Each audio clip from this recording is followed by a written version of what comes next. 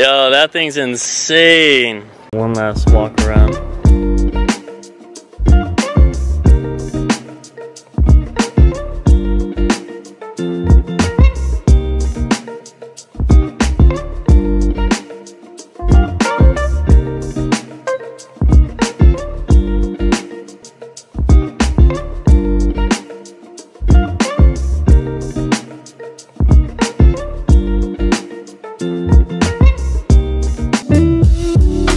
Just got a phone call from Deluxe Auto Body saying that the Shelby 1000 wide body is finally done. Boy, today is a busy day. I just got done lowering Betty. Video to come out on that. If you've not seen it already, go ahead and check the channel if you're watching this in the future.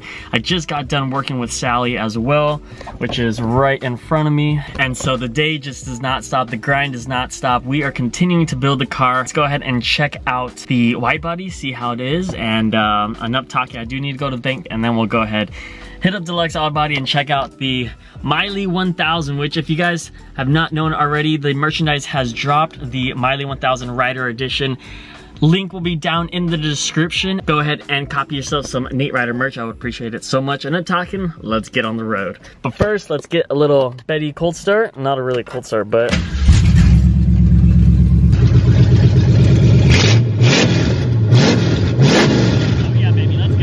We just came out of Bank of America and pick up the funds to pay for this wide body. Let me tell you, building cars is a very, very expensive hobby. A lot of you guys had questions on how I finance my projects, how, uh, where did I get this money and stuff like that. I graduated from San Diego State University with a bachelor's in business management with a specialization in entrepreneurship. I am a supervisor at Apple and a content creator for Google, as well as I get about two to $3,000 from YouTube a month, and I just work my butt off. I also have the 25 $5,000 from Sally, as well as other side gigs that I'm currently doing. So keep your eyes on the prize and you can do the same thing. So enough talking, let's go to the Deluxe Auto Body.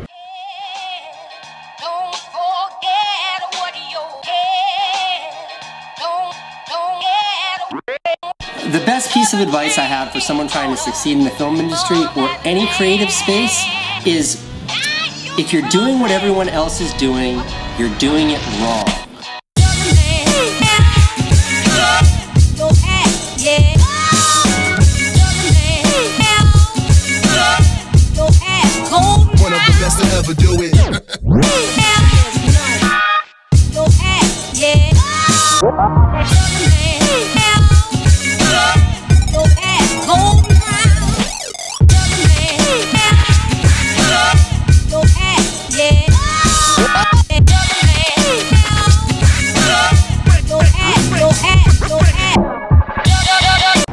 And here we have it, ladies and gents. My Shelby 1000 wide body is finally complete. Done here in San Diego at the Deluxe Auto Body. And you guys have already seen around. Now we can finally go in depth. I am absolutely pleased with this here. It is so damn thick. It is so aggressive and it is so mean. And I just want to go ahead and show you guys the body lines, the great work that Deluxe Auto Body did absolutely custom everything. They had to go so hard with these lines and I am so happy. Look at this perfect curvature and look at the continuation between these two. And then up front, we have, I'm gonna put that nice badge here. so I have to grab the badge, but look at this continuation from here from there. Absolutely beautiful. This is the only thing here just because currently the motor is out, the splash guard is out, and all the support is out already. But if you go ahead and put this up here, it lines up perfectly so when I put the motor back in, that line is just gonna be absolutely gorgeous. Look at the gas cap, bam. Absolutely perfect. I don't really see any imperfections, which is good. We're gonna give this a couple of weeks to see exactly how it's gonna be. I also wanted to go ahead and show you guys a little surprise. I took out the quarter window right here just because I was never a fan of it. I actually got this idea from Mustang Manny himself. Once when I saw him in Las Vegas, he actually had this blacked out. You could still see the window that idea came from meeting him. So basically when I took this, everything was going to be destroyed anyways. So might as well just cover this up and it's gonna have that true fastback that the Mustangs have back in the 60s where they didn't have that. So it's just gonna look so much better here when it's actually painted or wrapped, which is what we're gonna talk about very, very shortly. This looks so funny. I'm gonna be needing a new wheel set for sure. This is about three inches in and uh, so I am selling my wheels. Hit me up if you guys want to purchase the full set of wheels. They're in great condition, has lots of tread life left here, but definitely gonna be looking at some welds or some Super Snake wheels. But yeah, that needs to be fixed as soon as possible. And the front ones, probably a couple millimeters more pushed out. It's not as bad, but definitely need to get that fitment right. This is the Shelby 1000 wide body, and I couldn't be more happy with the results here. Deluxe Auto Body once again here in San Diego. Shelby 1000 certified. They completed this in the best fashion possible. So definitely hit them up for any custom work. Time to tow this baby all the way to the shop so that we could put the motor in and get that 1000 wheel horsepower. And here are the two project cars put side by side. Betty and Miley. Just want to go and show you guys what we got. Betty's really, really low right now, which is so cool. And then Miley, I don't know if I'm going to lower her just because of the full setup that we have, but ooh, they're looking good. Tow truck's almost here.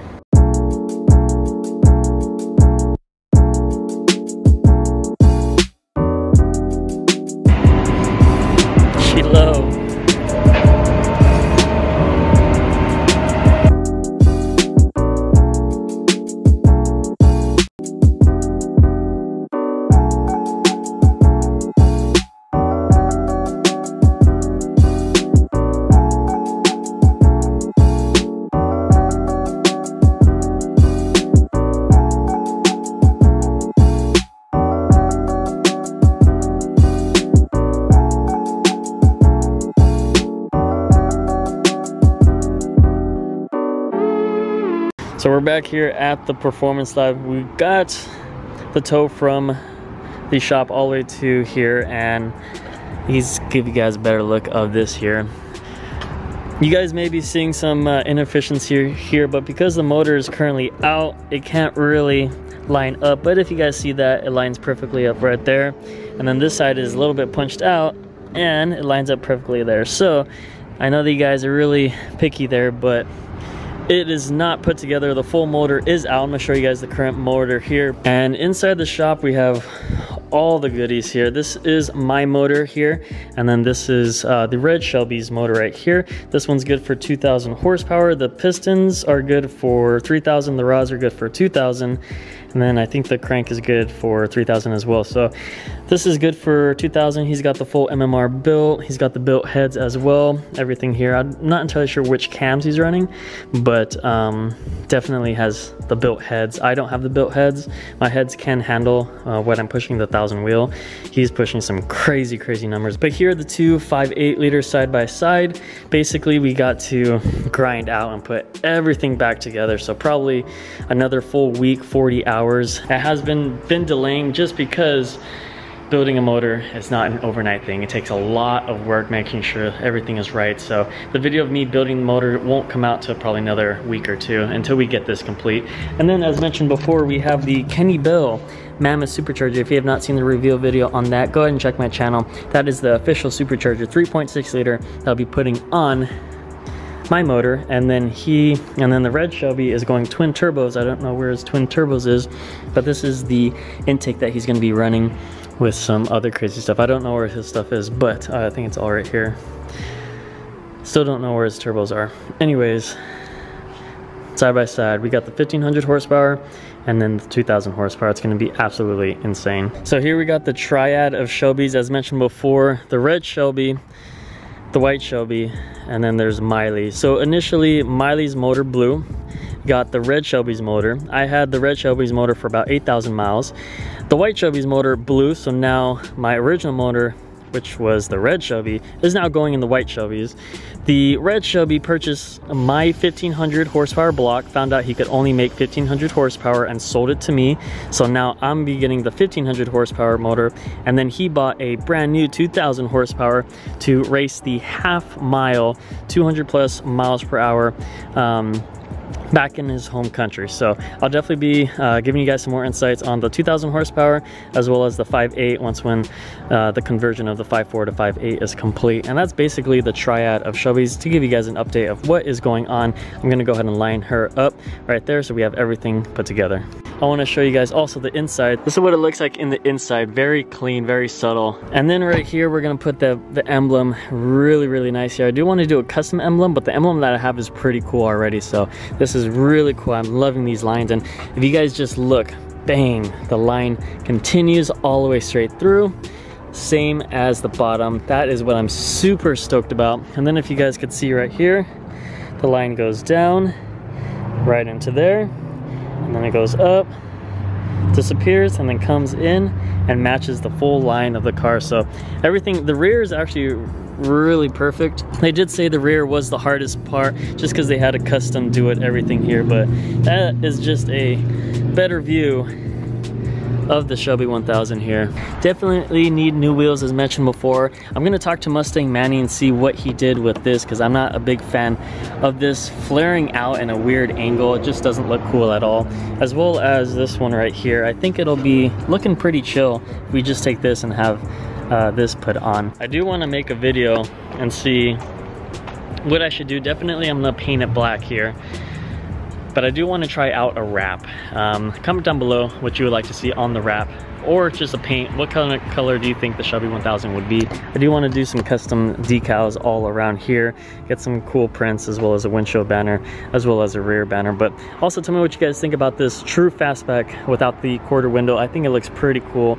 It gives it more of a race car, sports car type deal, and I'm just in love with the quarter window delete. If you guys are doing this, definitely delete your rear window. Nobody really likes that anyways. If you guys know anybody selling the Super Snake wheels, I am curious about getting Super Snake or I might just get some custom welds and put a fat Mickey Thompson on there. That's also something that I'm looking into just because I really do need at least um, 13 inch wide wheels or a crazy offset with some I don't I'm not really sure about the wheel specs but definitely want to run a 355 tire in the back. But here it is the Shelby 1000 wide body completed.